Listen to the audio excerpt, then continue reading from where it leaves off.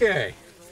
All right, we're in once again the uh, Nissan EV02. This is their test mule, is based on the older model of the Cube.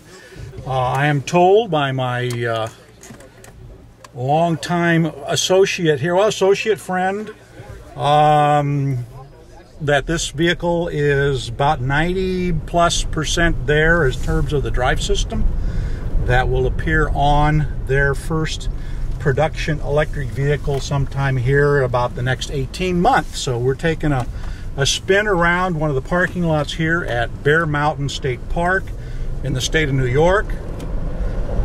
Pick it up. And this got nice, smooth, quiet. You're not hearing any kind of whine. Handling is, uh, is good on it. Um, I think that uh, people are going to uh, really find this a, uh, an enjoyable first time electric car experience. Uh, I can't wait for them to finally then figure out how to hack it and really make it perform. So here we are. Brian, thank you. You're very welcome. Put it in park, and we're done.